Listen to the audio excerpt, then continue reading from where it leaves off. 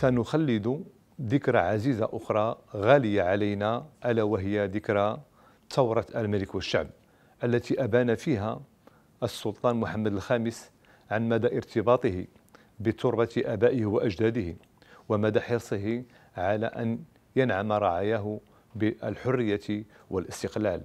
فكان الحدث تاريخيا مئة بالمئة عندما أعلن السلطان المغفور محمد الخامس ثورة عارمة في وجه أعتى الأمبراطوريات الاستعمارية ألا وهي فرنسا. فكانت كلمته لا للاستعمار لا لانتهاك الحقوق لا لتعذيب رعاياه لا للتفرقة لا ولا ولا حتى سمي بإضراب الطابع السلطاني ضد القرارات الاستعمارية الفرنسية.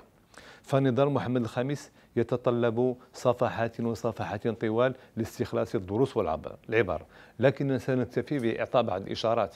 فعندما دق السلطان محمد الخامس درعا بالاستفزازات التي صادرت عن الإقامة العامة الفرنسية التي حاولت النيل من سيادته والتقليل من آه، حكمه وسلطته على رعاياه انتفض في وجهها ورفض الامتثال والانصياع لأوامرها وأعلنها ثورة بيضاء ضد الأحكام الجائرة وانضم إلى صفوف الحركة الوطنية في إطار المطالب المشروعة للمغاربة آنذاك وهي الاستقلال والذي تجسد في وثيقة المطالبة بالاستقلال تتوالى السنين والغطرسة الاستعمارية والآلة الحربية لا تتوقف. في الأطلس المتوسط كما في الصحراء كما في الشمال كما في الوسط كما في السهول الأطلسية لكن المغاربة ظلوا آمنين بقضيتهم صامدين ولو بأسلحتهم التقليدية.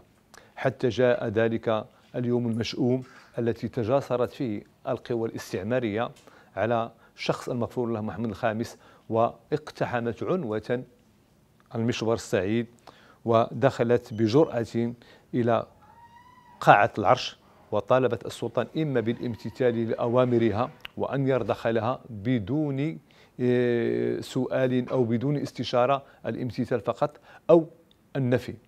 فآثر النفي على الاستسلام والرضوخ. هنا لابد من الوقوف عن هذه الكلمة التي قالها فلتذهب فرنسا إلى الجحيم ولتفعل ما تفعل ولن أتنازل قيد أنملة عن المسؤولية التي أنيطت بي في إطار البيعة التي بايعني بها رعاياي كما بايعوا آبائي وأجدادي. هذه الكلمات كانت بمثابة السيف الذي وضع على عنق الديك الفرنسي والذي خدش تلك الصورة الاستعمارية المنمقة لفرنسا. فكان النفي بمثابة درس من دروس النضال. فقد أبان المغاربة كذلك عن مدى عشقهم وتشوفهم وحبهم الجارف لهذا السلطان الذي ضحى بنفسه وبأسرته في سبيل نصرة قضايا الوطن. وعلى الرغم من نفي محمد الخامس فقد ظلت صورته راسخة في قلوب وأذهان المغاربة. بل تخيلوها حتى في القمر. وهذا دليل على أن إن كانت فرنسا تريد أن تمحو صورة الملك من ذاكرتهم فلتذهب إلى القمر لكي تمحوها. هذا بمثابة آه، آه، امتحان آه، للفرنسيين الذين حاولوا منع المغاربة من حمل صور محمد الخامس والاحتفال به كسلطان عليهم. فظلت الشعارات تتردد لن نرضى إلا بملكنا وبالعودة الشرعية والسيادية لهذا السلطان إلى بلده. ففي سنة 1953 إلى حدود سنة 1953 سالت دماء طاهرة. دماء أبية غطت كل مناطق المغرب من الشمال ومن الوسط من الشرق ومن الغرب.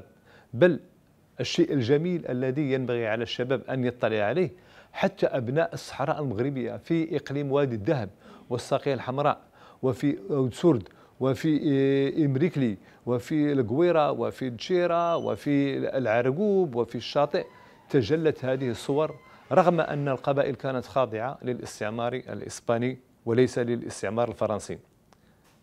فقاموا بنزع كل الصور التي تبرهن عن زينتهم فامتنعوا عن ذبح أضحية العيد لسنتين.